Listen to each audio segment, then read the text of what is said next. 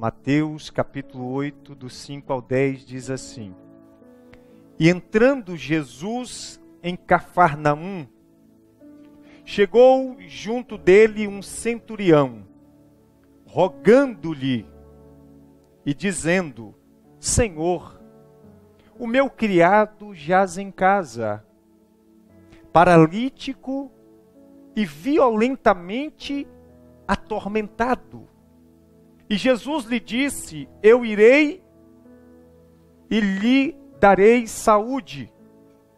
E o centurião respondendo disse: Senhor, não sou digno de que entres debaixo do meu telhado, mas dize somente uma palavra, e o meu criado há de ser curado. Pois também sou homem sob autoridade e tenho soldados às minhas ordens, e digo a este vai, e ele vai, e a outro vem, e ele vem, e ao meu criado faz isso, e ele o faz. E maravilhou-se Jesus ouvindo isso, e disse aos que o seguiam: Em verdade vos digo, que nem mesmo em Israel encontrei tanta fé.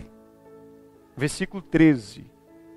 Então disse Jesus ao centurião: Vai, e como creste, te seja feito. E naquela mesma hora, o seu criado sarou. Aleluia. Tome o teu assento. Queridos, quando eu olho para um texto tão rico como esse, eu chego a perguntar aonde foi que nós deixamos a nossa fé?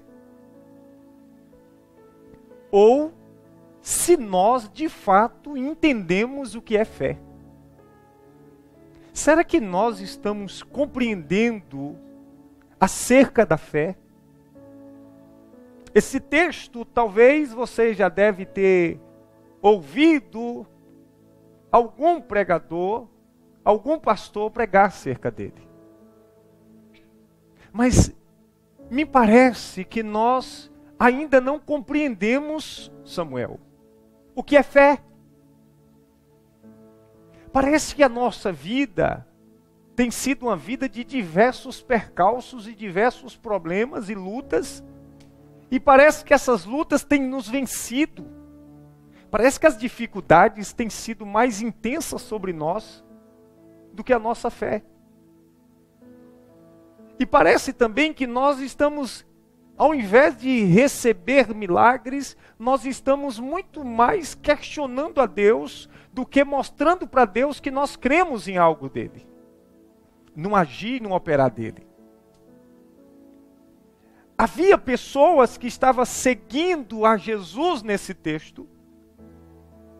E de repente, diz a Bíblia que um centurião, um homem que tinha autoridade sobre soldados, um homem que tinha uma patente elevada, procura a Jesus, porque na sua casa não estava nada bem. Havia um problema na sua casa. Havia uma adversidade na sua casa. E ele vai até Jesus. E quando ele chega até Cristo, ele diz: Senhor, na minha casa tem o meu criado, um servo meu. Esse servo, ele é paralítico, ele está paralítico, ele não anda. E ele está ainda por cima terrivelmente atormentado. E Jesus diz: Olha, eu vou até a sua casa. Interessante é que Jesus sempre diz, está disponível a nós. Você já percebeu isso? Jesus está disponível para cada um de nós. E eu digo a você que Jesus está disponível a você. Jesus se propõe, se dispõe a ir na casa do centurião. E, e aquele centurião surpreende a Cristo dizendo: Senhor, eu não sou digno.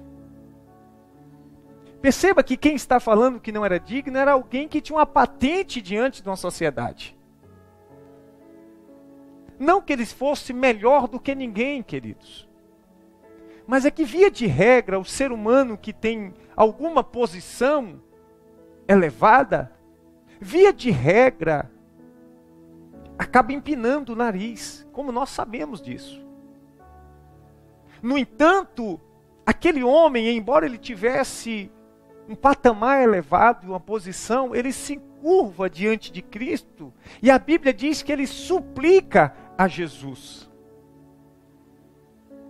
Ele implora a Cristo que cure o criado dele. E Jesus se dispõe aí, ele diz: Não, Senhor, quem sou eu para te receber dentro da minha casa? Eu não sou digno de receber o Senhor na minha casa. Mas faz o seguinte: manda uma palavra tua.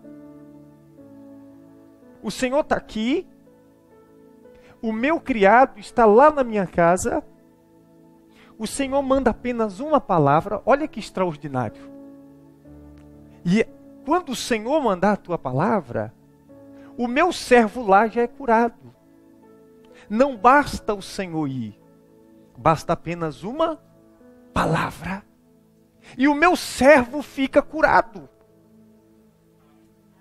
E Jesus se espanta, vamos dizer assim. Porque a Bíblia diz que Jesus fica maravilhado. E Jesus chega e fala para aqueles que estavam seguindo a ele.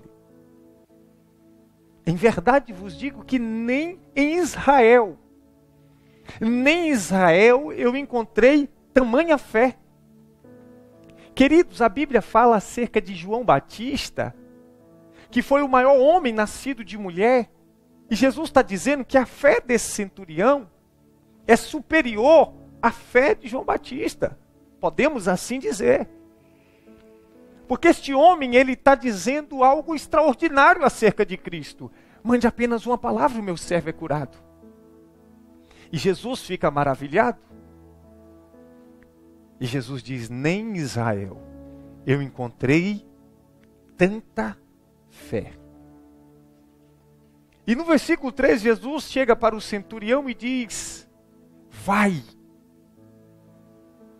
E como creste, assim te seja feito. Se nós conhecemos essa história, nós precisamos entender quais são as lições para a nossa vida. Eu gosto de pregar assim. Porque um texto, quando nós olhamos para ele, a gente entende ele, mas a gente tem que fazer a seguinte pergunta: o que esse texto tem a ver comigo? O que Deus quer falar comigo a, a respeito desse texto? E daí?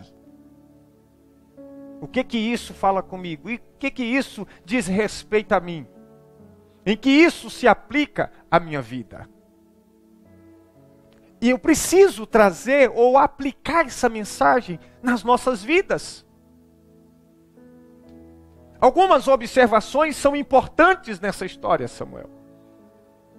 O centurião, ele tinha um problema na casa dele. Assim como eu e você temos diversos problemas. Se eu perguntar quem aqui tem problema, todos nós vamos levantar a mão. Todos nós vamos levantar as nossas mãos. E eu não deixaria ninguém constrangido, eu levantaria as duas. Há um problema na sua vida? Há um problema na sua casa? Há um problema na sua família? Na casa do centurião tinha um grande problema. O seu servo, o seu criado, estava paralítico e terrivelmente atormentado. E é justamente esse problema que o leva a buscar a Cristo. É esse problema que o leva a ter um encontro com Cristo. E eu aprendo que muitas vezes os problemas da nossa vida nos levam a ter um encontro com Cristo. Não que todos os problemas nos levem a ter um encontro com Cristo. Mas é possível que os problemas da nossa vida tenham um caráter pedagógico de nos ensinar a buscar a Cristo. As adversidades e as lutas e os percalços da vida têm um caráter pedagógico de nos ensinar a buscar o Mestre. Quando nós estamos enfermos, buscamos um médico. Não é isso que fazemos? Quando queremos construir uma casa, buscamos um pedreiro. Quando queremos buscar conhecimento, vamos nas faculdades, escolas, nós buscamos na fonte. É assim que é a nossa vida. Então o problema na casa daquele homem fugia de sua capacidade, como muitas vezes o problema foge da nossa capacidade. Quantos problemas fogem da minha capacidade, queridos? Quantos problemas fogem da tua capacidade? Não tem como resolver esse problema. Embora o centurião fosse uma pessoa de status, de conhecimento, mas aquilo não estava diante do seu alcance, como muitas vezes enfrentamos lutas e adversidades que fogem do nosso controle, foge da nossa capacidade, é maior do que nós. E todos vocês tenham certeza, não precisa ser profeta para revelar isso, que cada um de vocês nessa noite chegar aqui com um problema? Seja ele financeiro, material, conjugal, familiar, interno, externo, espiritual e de diversas sortes.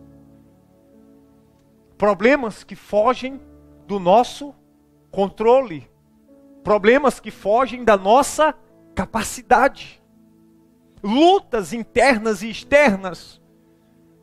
Então a primeira coisa que a gente observa nesse texto é que na casa daquele homem tinha um problema, como na minha casa e na tua também tem um problema. Na, na vida dele tinha um problema, como na sua vida tem um problema.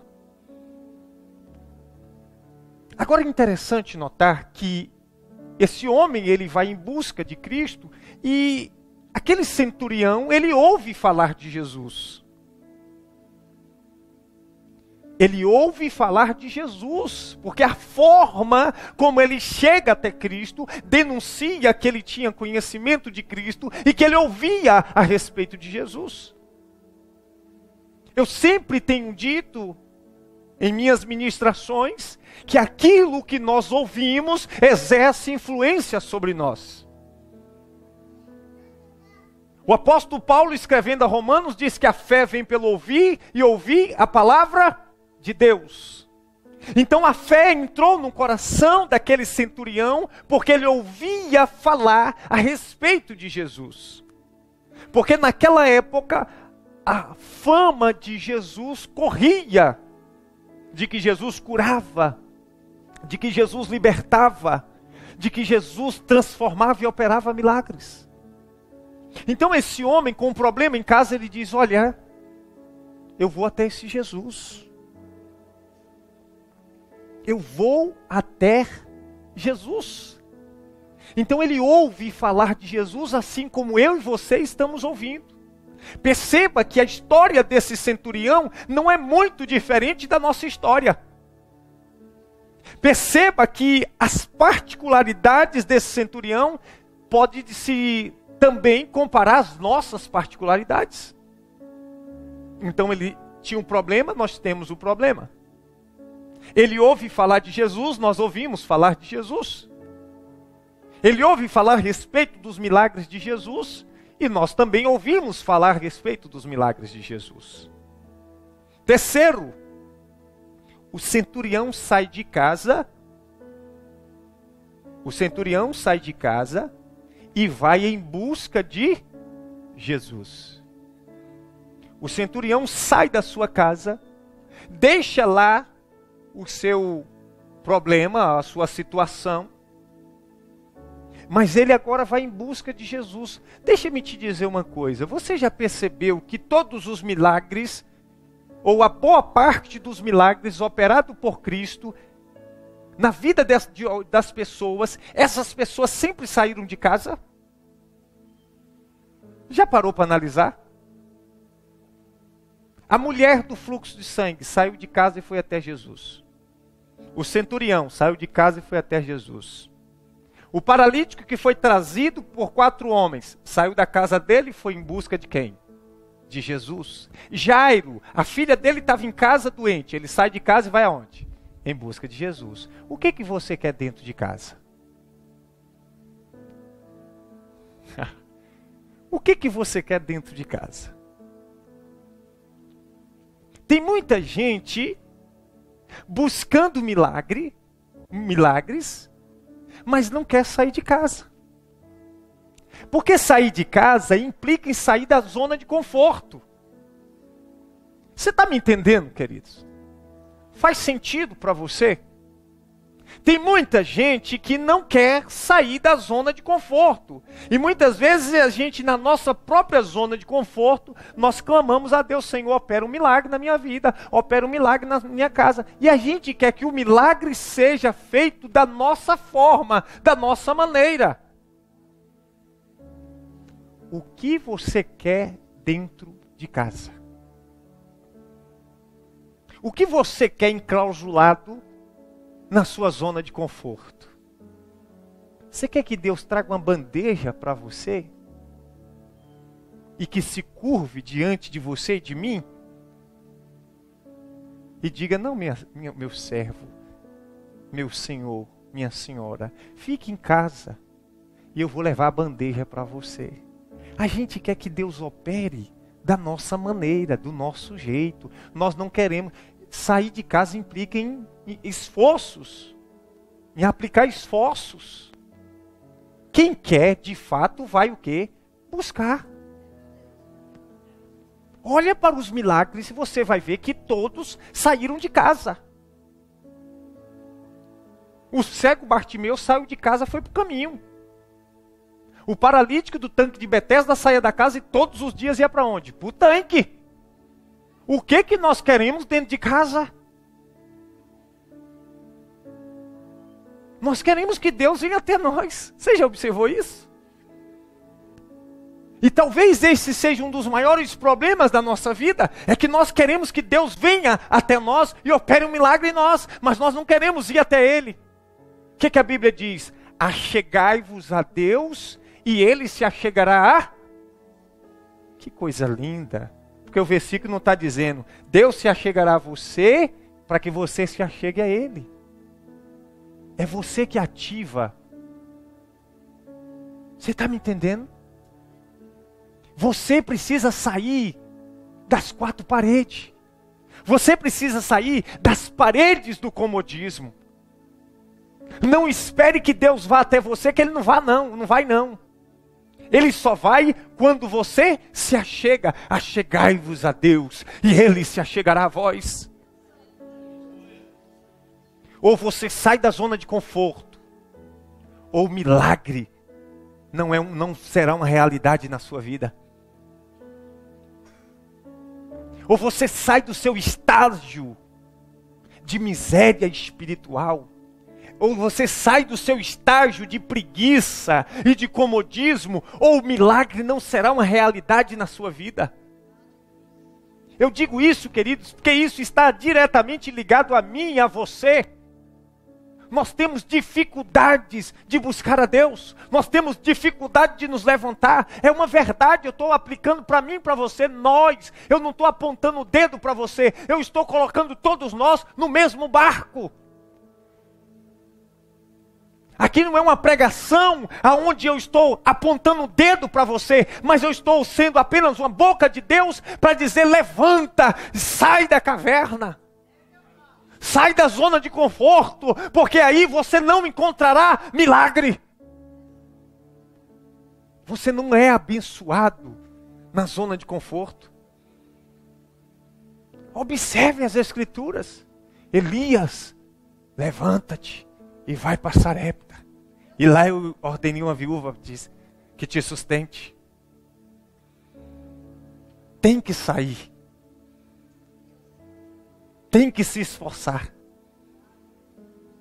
Um pai, pai terreno, quando ele vê que o filho está se esforçando, ele tem o maior prazer de quê? De abençoar. Olhe os pais e mães para você ver. Se não tem prazer de dar alguma coisa ao filho, tira da garganta, como a gente diz, né?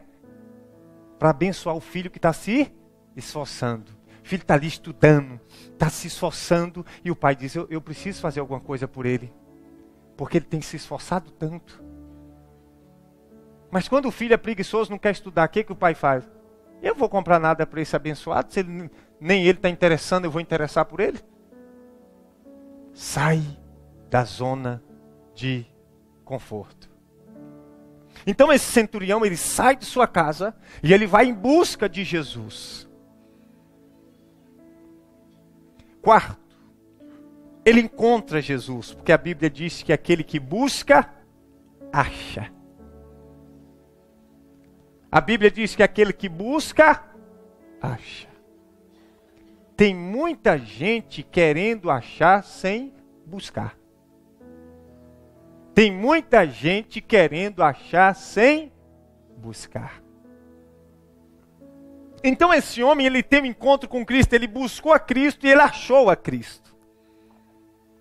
Perceba o processo que Deus está te ensinando nessa noite. Perceba o processo que Deus está te ensinando nesse instante. Ele acha. O centurião, quando acha Cristo, ele expõe para Cristo, ele expõe para Cristo com exatidão o seu problema diante de Cristo. Ele acha Cristo e agora ele expõe para Jesus o seu problema com exatidão. Tem gente que não sabe qual é o problema dele. No entanto, esse homem sabia exatamente qual era o problema. Eu digo isso porque a gente às vezes está orando a Deus, Senhor isso, Senhor aquilo. Aí Deus está falando, vem cá meu filho, você, qual é o problema mesmo da sua vida?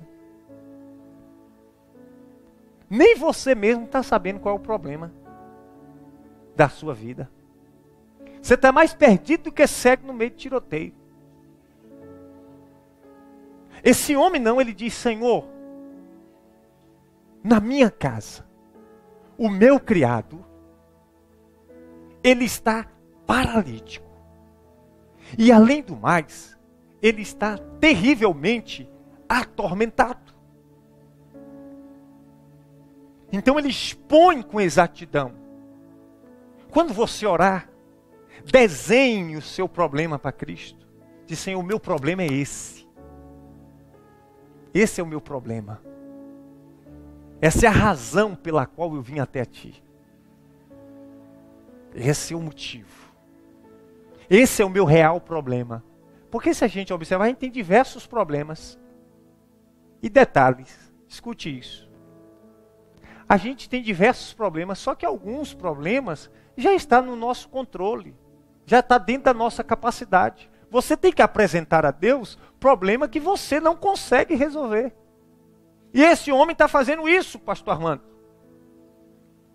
Ele está apresentando a Cristo uma causa impossível à, à sua capacidade. Impossível para ele. Porque a Bíblia diz que aquilo que é impossível para os homens, para o homem, é possível para Deus. Então, quando a gente vai até Cristo, nós apresentamos aquilo que é impossível a nós. E esse homem está apresentando a Cristo uma causa impossível. É o quarto ponto dessa mensagem. Quinto, o centurião reconhece o senhorio e a santidade de Cristo. Reconhece o senhorio e a santidade de Cristo ele se humilha diante de Cristo. E a Bíblia diz que aqueles que se humilham serão humilhai-vos perante a potente mão do Senhor, e ele vos exaltará. Ele se humilha diante do Senhor e diz: Eu não sou digno que o Senhor entre debaixo do meu telhado. Ele reconhece o senhorio e a santidade de Jesus. E automaticamente ele reconhece o seu estado de pecador, o seu estado de necessidade de Cristo. Ele está dizendo: Eu não sou ninguém perante o Senhor. Eu acho interessante que tem gente que se acha alguma coisa diante de Deus. Quem encontrou? Nós somos nada vezes nada, e vezes nada, e vezes nada, e vezes nada. Você está entendendo? Nós, eu e você, não podemos nos comparar à sua glória e à sua majestade. Devemos reconhecer o seu senhorio e a sua santidade. Aleluia. E ele faz isso, ele reconhece que ele não era sequer digno que Cristo entrasse na sua casa. E ele agora compreende, queridos, entende isso. O centurião surpreende a Cristo com a sua fé. Será que nós temos surpreendido a Deus com a nossa fé? Ou não estamos sabendo o que é fé? Todos os dias eu costumo dizer que eu tenho vivido milagres. Todos os dias, Murilo, eu tenho vivido milagres. Hoje eu venci, hoje você venceu, queridos. Nós vencemos o dia de quinta-feira. Aleluia. Você chegou aqui, você venceu. Aleluia. Então surpreende a Cristo com a tua fé. A fé é o firme fundamento das coisas que não se vê e a certeza daquilo que se espera. Aprenda a surpreender a Deus. Surpreenda a Cristo com a tua fé. Embora eu não tenha tempo de falar a respeito da fé como um todo, mas nós precisamos compreender que a fé ela deve estar sempre firme nos nossos corações. Fé é certeza, não é dúvida. Fé é certeza, não é expectativa. É quando o mundo diz não e você diz vai acontecer. Eu creio, eu vejo, é por isso que o apóstolo Paulo diz: Não ando por vista, eu ando por fé. A fé te faz enxergar o futuro de maneira que você não se entristece com as adversidades do presente, com as lutas do presente. Porque enquanto você está nas lutas do, do, do presente, a fé te faz enxergar a vitória adiante. Então entenda esse princípio que deve nortear a sua vida, o seu coração. Surpreenda a Deus com a tua fé. Em outra ocasião eu prego sobre como ter mais fé. Sétimo, o centurião recebe o milagre lá na sua casa. Ele crê. Ele diz: mande uma palavra mande uma palavra. Nós temos a palavra. Eu e você temos a palavra. É quando eu digo assim para você também: haverá milagre na tua casa, haverá milagre na sua vida, e você vai dizer assim: eu tomo posse dessa palavra. Eu vou chegar na minha casa e já vai ter curado o meu filho, a minha filha, seja lá quem for tem que tomar posse. A palavra, ela tem poder. A Bíblia diz que a nossa boca é fonte de bênção. Então ele crê na palavra.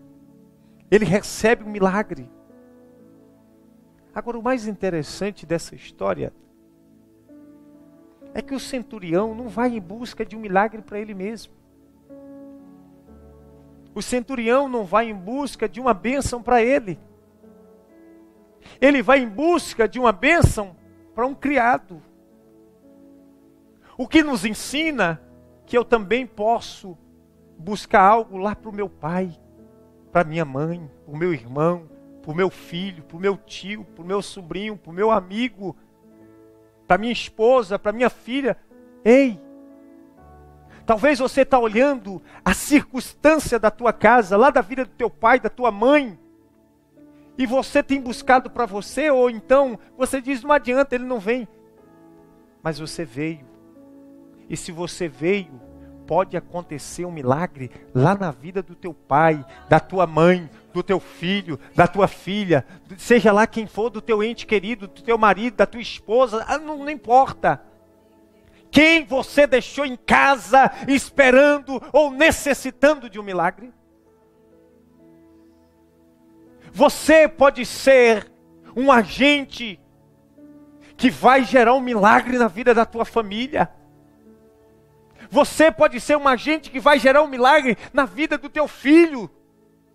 Não importa quem você deixou em casa e como está o estado dessas pessoas, o que importa é que você pode ser um centurião do século 21 dizendo: Senhor, eu vim buscar pelo meu pai, eu vim buscar pela minha mãe, minha mãe está assim em casa, meu filho está assim em casa, meu pai está na prostituição, minha mãe está assim, meu pai está assado, meu filho está assim. Não importa. Eu sou a ponte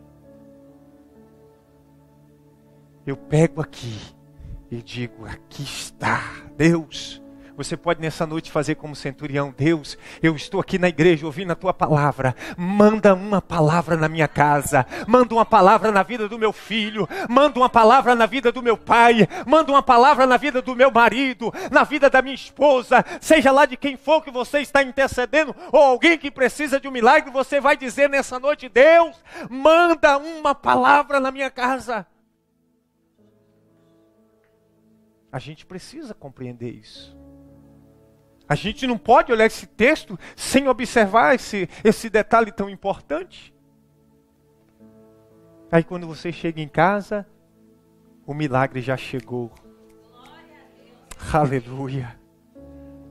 Interessante é que Jesus, depois de ouvir tudo isso, Jesus falar algo muito interessante. Vai. E como creste, te seja feito. E aqui eu aprendo um princípio.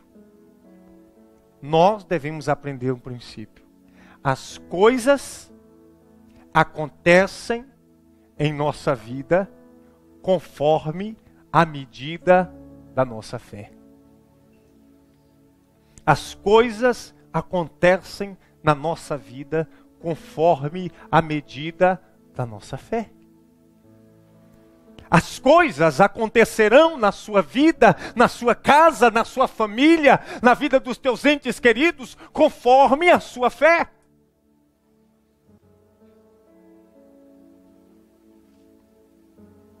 É porque você está olhando para as circunstâncias é porque nós estamos olhando para as impossibilidades.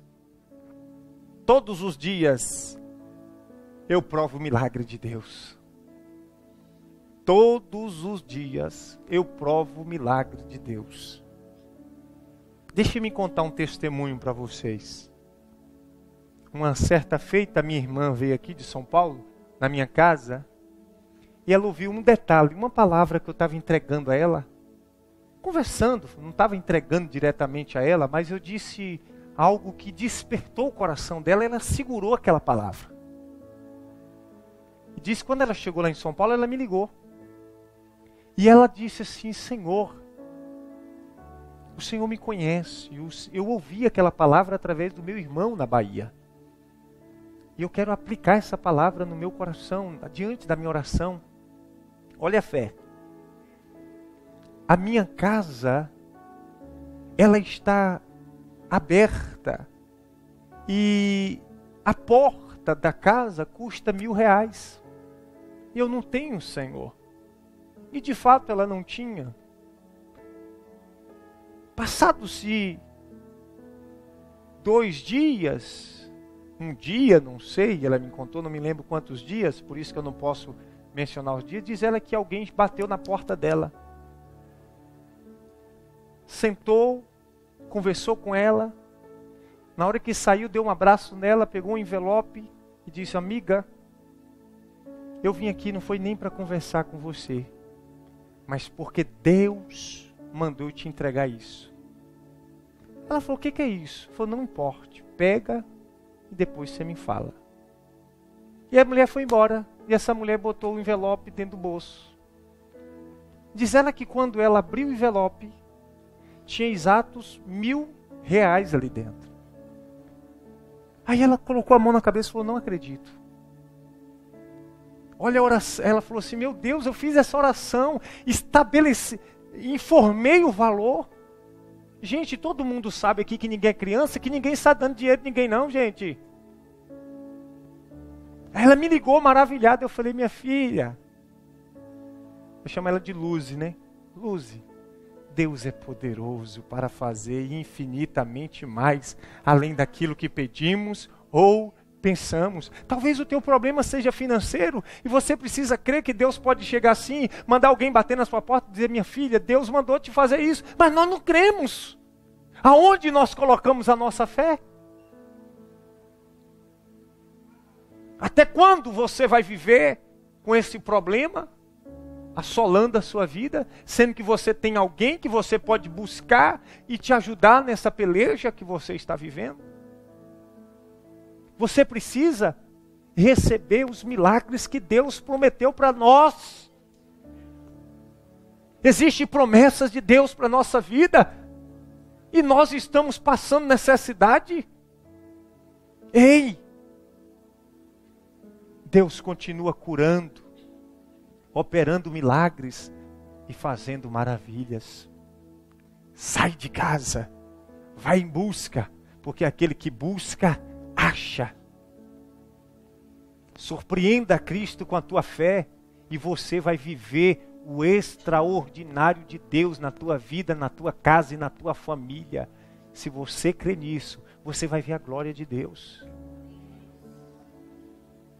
que você possa compreender tudo que Deus quer falar contigo, que está falando contigo nessa noite e ainda está ministrando ao teu coração. Porque o que você precisa está em Cristo. E se você crê, você sai daqui nessa noite já recebendo a tua bênção, porque só depende de quem? De você. Ele tem para dar. Você se coloque na posição de receber o que Deus tem para a sua vida. Que Deus te abençoe.